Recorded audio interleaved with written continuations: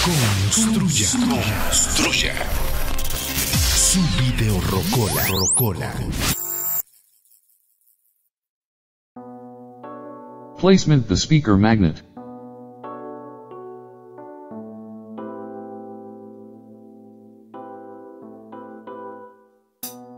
Then we explain the correct way to place the magnet, between the core and the basket, so that it is centered, and with the correct polarity. Procedure The first thing to consider, is that magnets have two poles, north and south. With the help of a compass, you can know the polarity of the speakers, and similarly, the polarity of the magnets. The North Pole compass tip, it show the South Pole magnet, and the South Pole compass tip, show the North Pole magnet. The first example we do with the speaker driver unit. We see the north tip of the compass, it is attracted to the south pole of the driver.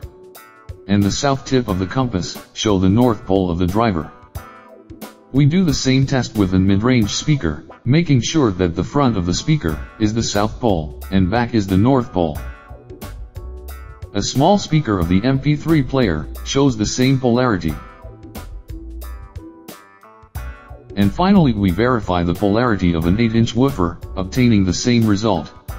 The south pole in front, and the north pole in back. Now we determine the polarity of our speaker magnet.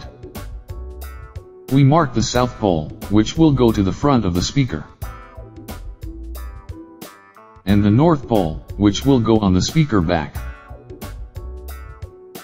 Another way to verify polarity, is through the speaker voice coil. We connect two cables at its terminals. The negative pole, is the left side. And the positive pole, is the right side. Place the speaker magnet around the core, taking care that it is as centered as possible.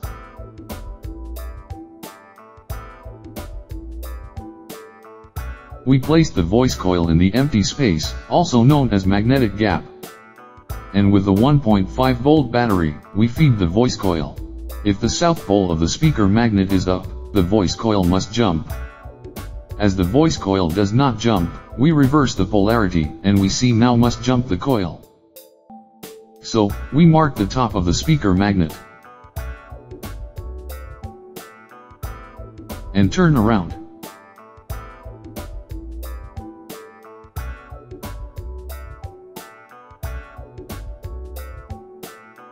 We place back the coil in the magnetic gap. And we feed the voice coil, considering using the correct polarity. We see that jump the voice coil, checking the correct position of the speaker magnet.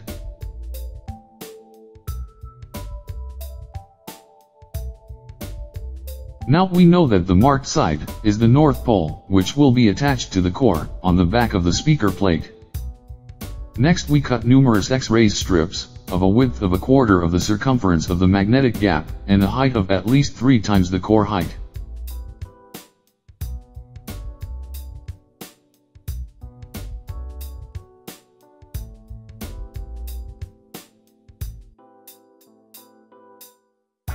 We put the basket over the core.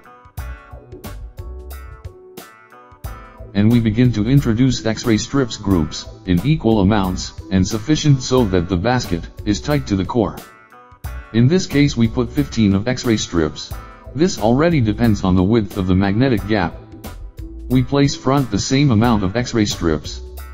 They should be equal amounts, so that the basket is properly centered. We do the same crosswise.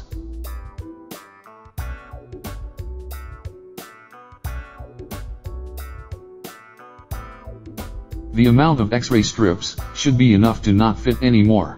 The core must be fully focused, and adjusted.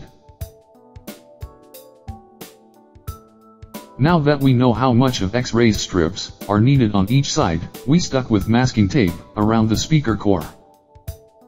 The tape should be as low as possible, so that later not interfere, when adjust the basket. We stick the four groups of strips of X-rays, facing each other.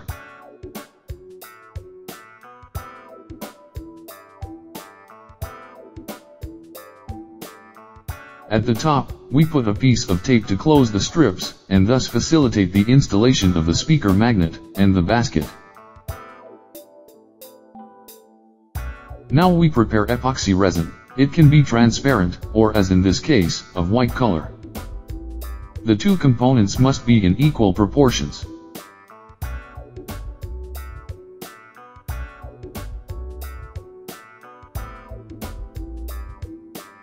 The two components are mixed, until achieve a homogeneous mixture.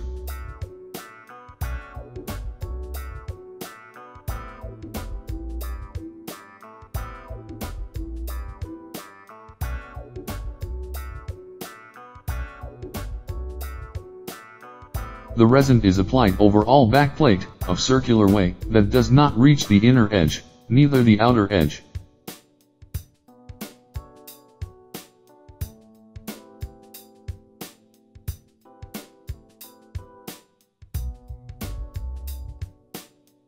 Is introduced the speaker magnet, so it is well centered and correct polarity.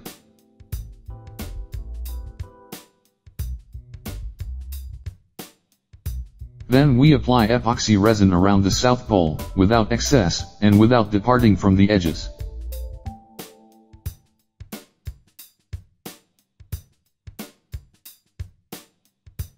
We put the basket in place. This is very well centered, thanks to the X-ray strips.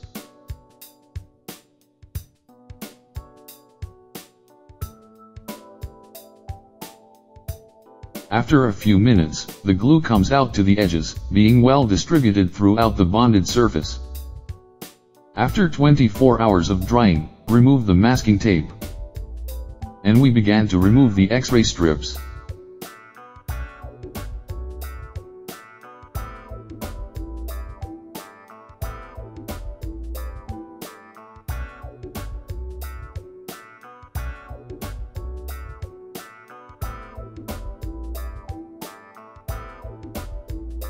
We remove the masking tape, remaining in the magnetic gap.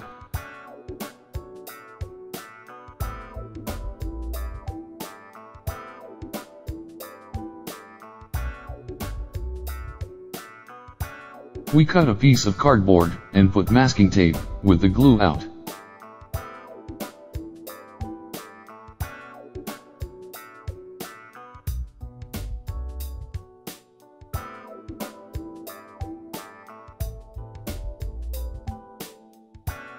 Introduce it in the magnetic gap to make spinning.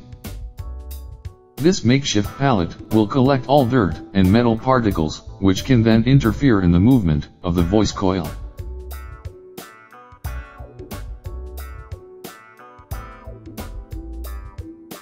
We do this as many times as necessary, until the masking tape out free of dust and particles.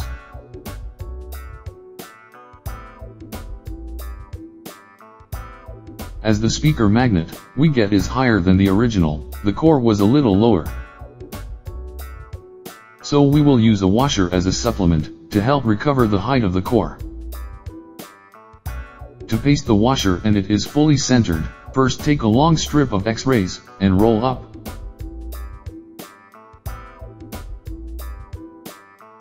We introduce into the core hole. Then, in the hole of the washer, place the tube made with an X-ray strip.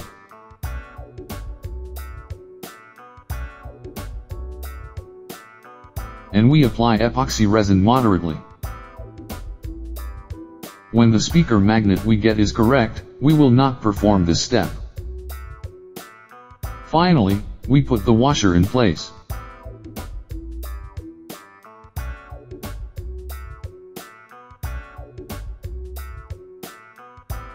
After 24 hours, remove the tubes made with X-ray strips.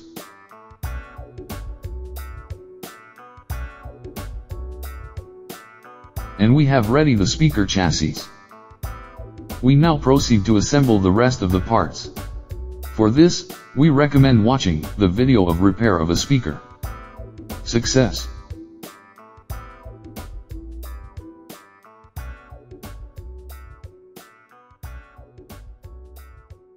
we invite you to subscribe to our YouTube channel. Go to the toll button and check the box Send Me Updates. Join us on Facebook and follow us on Twitter.